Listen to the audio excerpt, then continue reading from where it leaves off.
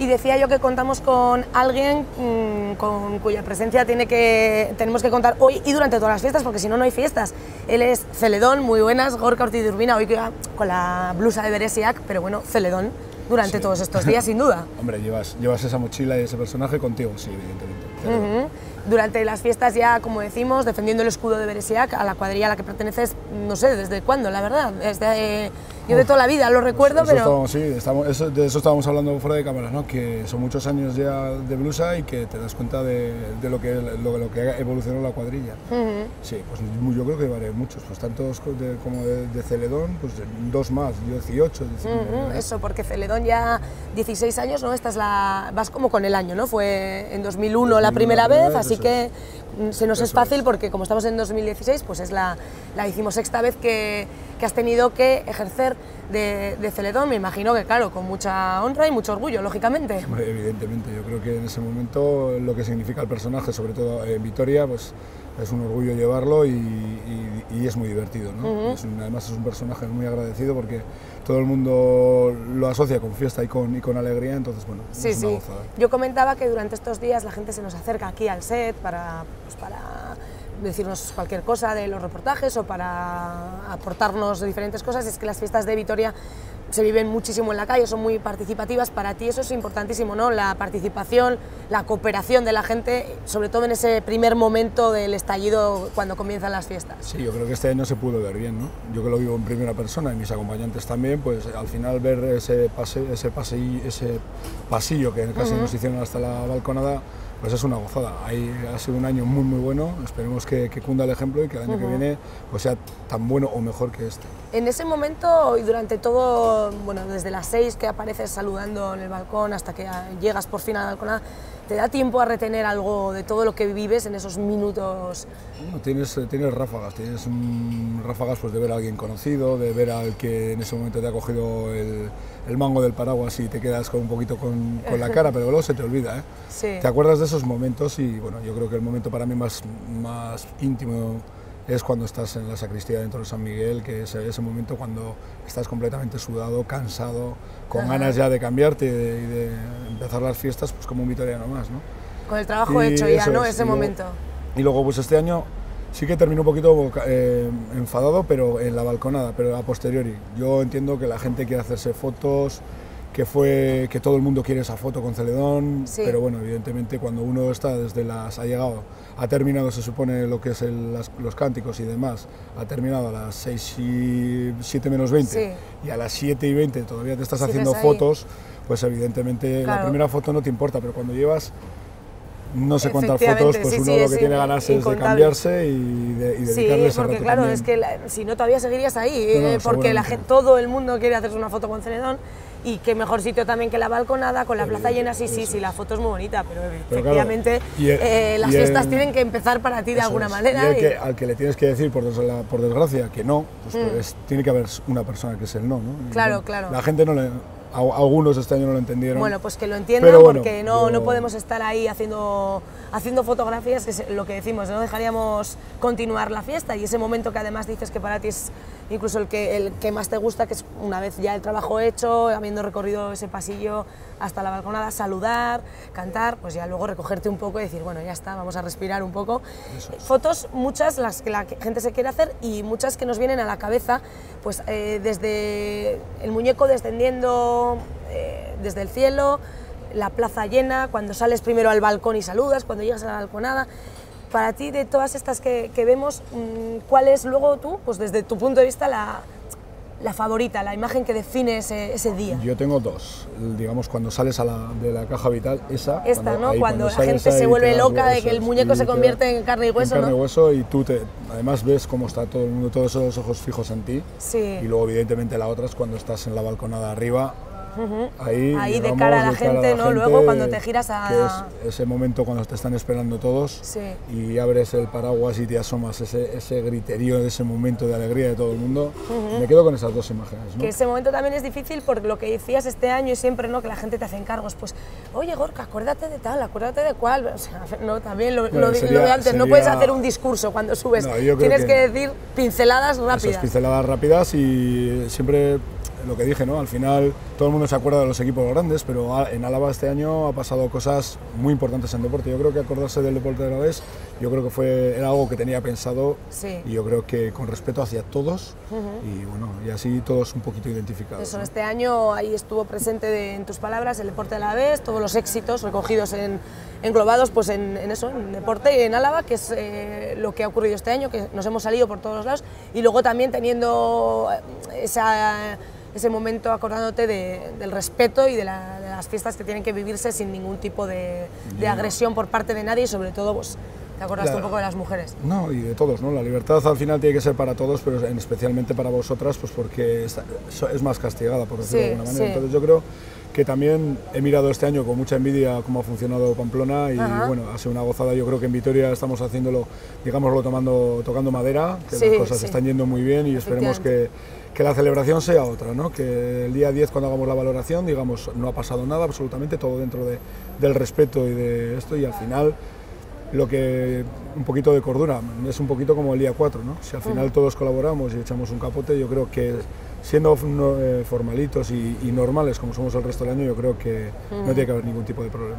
El año que viene se cumplen ya 60 años de, la primera bajada de aquellos, bueno, los voy a mencionar porque nunca viene de más, mencionar a los, que, a los fundadores de esta tradición, José María Sedano, Jesús Jiménez, Amado López de Piña, José Luis Beitia, Luis María Sánchez, Mario López de Greña, José Pérez de San Román, Javier de Aspiazu y José Luis Isasi, que fue el primero que encarnó a la figura de Celedón. Bueno, pues el año que viene es 60 aniversario.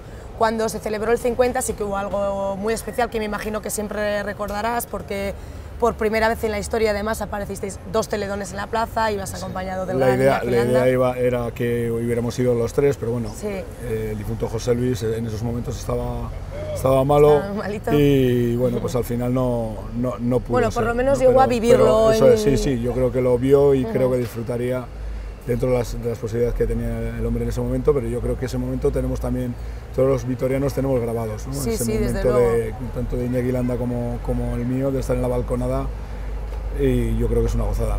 No sé, era un aniversario muy, muy, muy especial y bueno, el 60 también es muy bonito, pero yo no, no Claro, no es tan redondo tampoco como este que estamos viendo imágenes del 50, que para lo que dices, para muchos vitorianos, especialmente para una generación, bueno, para muchas, pero yo hablo de la mía, claro, en la que para mí muchos años Celedón era Iñaki Landa, es como, vamos, una figura que, no se te borra. Claro, luego llega Gorka, que es el nuevo, el nuevo, el nuevo, pasan años, años, años y de repente, claro, es que Celedón es que ahora es Gorka. Mm. Y ver a ambos juntos, se me pone la piel de gallina incluso ahora que lo estoy recordando. Recorriendo el pasillo, llegando y bueno, la cara que tenía Iñaki, que quién le iba a decir a él que iba a poder volver a vivirlo, ¿no? Porque una vez que ya cuelgas, entre comillas, ¿no? La bota y el paraguas, Claro, es que parece imposible que eso vuelva a repetirse. Pues se repitió ahí contigo. Sí, ¿no? y, él, y además, te digo que, que, lo vivió como, como él, como, él, lo contaba, ¿no? Dice, como reencontrarse con un viejo amigo que, que ya esperas no verlo nunca. Entonces, yo creo que tal como fue aquel año, yo tengo un recuerdo impresionante y me imagino que Iñaki, pues, eh, para él tuvo que ser muy, muy, muy importante. 21 años que fueron los que defendió la figura de Celedón Iñaki, 22 al que mencionábamos anteriormente, a José Luis Isasi ya fallecido. Bueno, a ti todavía te quedan por aquello de no superar al anterior, ¿no? Siempre está esa cifra de respeto, pero bueno, quedan años todavía para vivir tú de Celedón, así que ya... Sí, no, eso es, cuando llegue llegará. Cuando llegue el momento de la transición. Aunque no, sé, aunque no sé por qué este año la ETV comentó que era mi último, no sé, no sé, no sé. ¿eh? ¿Sí? ¿Algo dijeron? algo dijeron porque yo no lo he visto, pero bueno, me han llegado informaciones porque te preguntan, ¿no, Igor, que este es el último? No, no, no, de verdad no, también, no es mi intención, pero bueno. También escuché que en, esta, las fotografías de las que hablábamos que se hacen en ese momento, que estaba Miriam Larrión acompañando a los que habían ejercido de chupineros, Araski y Gastedi, también el TV creo que debió de decir, otra deportista a la vez, o sea, creo que TV a veces, de hecho muchas veces se les tira de las orejas desde aquí, este cántico de TV vivo con Televista, muchas veces están muy puestos en lo que ocurre en Bilbao, pero aquí en Vitoria hay que documentarse un poco, el que lo haga porque... Es un trabajo de periodismo, ¿no? Yo creo que... Sí, sí, claro, efectivamente. Y, tienen un año entero por delante para, para hacer un trabajo que... Sí, sí. Pero bueno, todos los años por H o por B, pero alguna, sí, algo, alguna, algo siempre la cuelan, algo, algo hacen. Bueno, lo de, lo de intentar tocar a Celedón, las fotos de la balconada arriba, eh, vamos, es algo que todo el mundo quiere. También tocar a Celedón cuando pasas. Eh, eso creo que nunca va a pasar de moda, pero bueno, mientras se haga desde el respeto con cuidadín y que no te, no te desgracien el traje ni el paraguas ni nada. Que no sea demasiado efusivo, porque hay a veces amores que matan, ¿no? Pues Efectivamente, pero bueno, está bien sí que, hombre, un poquito, pero que no se abalancen tampoco muy muy efusivamente. Eh, pero yo me quiero acordar hoy de- especialmente de los que no es que lo tengan difícil acercarse, es que lo tienen pues, mm, prácticamente imposible porque están fuera, están lejos y no pueden vivir el momento y disfrutar de sus fiestas porque siguen siendo gente de aquí que pues por H o por B vive en otros sitios. Eh, eh, voy a acordarme especialmente de Patricia, que es eh, la hermana de Lourdes, una de las camareras de Puerta Grande, que me decía ayer que vive en Galicia y que nos sigue a través de YouTube los vídeos y que lo vive pues como puede, a través en esta ocasión pues, de VTV, pero pues, pues la red, que hoy las redes oye, hacen, hacen ese trabajo. Para todos ellos que nos están viendo y que no han podido vivir la fiesta aquí en Vitoria, ¿qué les dirías, Gorka? Bueno, que- que- que las fiestas son un año, un año tras otro, tras otro. Entonces, bueno, a veces por motivos laborales, personales o familiares, uno tiene que estar fuera, pero bueno, que no se preocupen que, que con el tiempo alguna vez podrán Ajá. regresar y evidentemente un abrazo muy cariñoso para ellos. También es cierto que sé que hay muchos sitios que cuando uno está de vacaciones o, o incluso viviendo, ¿eh? Sí. ese, ese día 4 a las 6 de la tarde tienen su pequeño celedón y lo disfrutan en donde ellos están, pero Sí. evidentemente que no se preocupen que seguramente algún año podrán vivir. Eso es, las podrán vivir aquí. Pues nada, con ese mensaje nos vamos a quedar. Muchas gracias, Gorka, por habernos acompañado, por hacer un hueco en tu agenda que durante estos días mm, me consta que es bastante apretadita.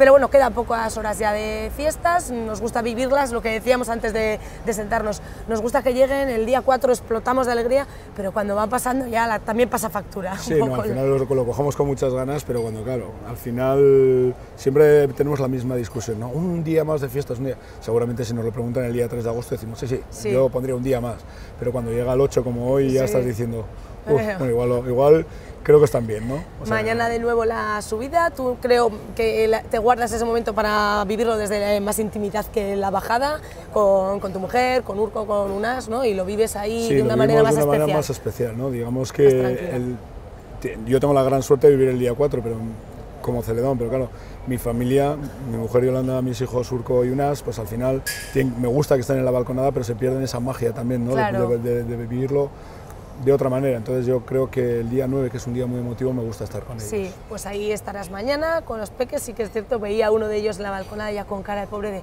pero ¿por qué todas las fotos con mi aita? ¿Pero qué pasa? Pero claro, él lógicamente lo entiende, lo ha vivido de siempre y una cosa es que lo entienda, pero otra cosa es que claro, que pueda disfrutar de su aita en un momento, así que entre otros de las fiestas reservas ese 9 para, para vivirlo con ellos, ese momento también muy emotivo que es el de la subida.